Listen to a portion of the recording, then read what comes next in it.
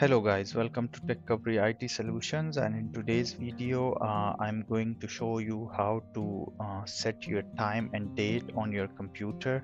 Uh, if it's wrong you can fix it by following these steps. So you have to click on uh, start and type in control panel and in control panel you have to look for time and date and in time and date there are two options. Either you can do it manually by selecting the date and time and click ok.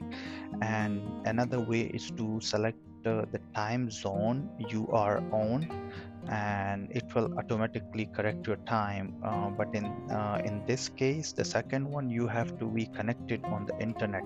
If you're not connected on the internet you can do it manually here.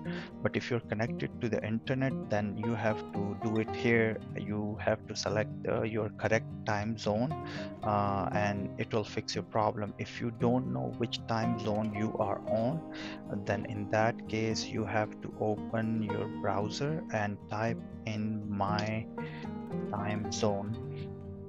And it will open your time zone. In my case it's this one. In your case it would be like you know anything. So just select that time zone in this list and it will automatically fix the um, time and date for you. Uh, thank you so much for watching this video. If it helps please like it and subscribe to my channel. Thank you. Bye